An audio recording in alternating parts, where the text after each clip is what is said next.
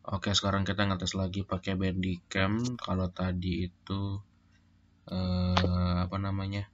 For sisi code-nya dia ke H264, berarti dia lebih optimal ke konsumsi pribadi, bukan buat produksi.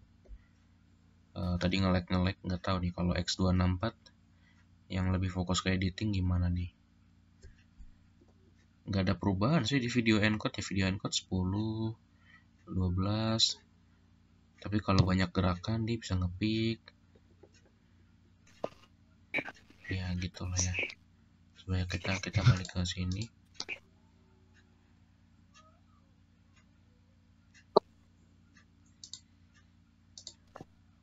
Kita scroll scroll gini.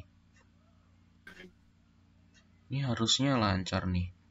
Ini di ininya lancar tapi nggak tahu di Yes, di- 38 WA aku. Kurang dua lagi. Ini aku punya dua. Jangan tak Mak itu deh. WL satumu. Lah lah.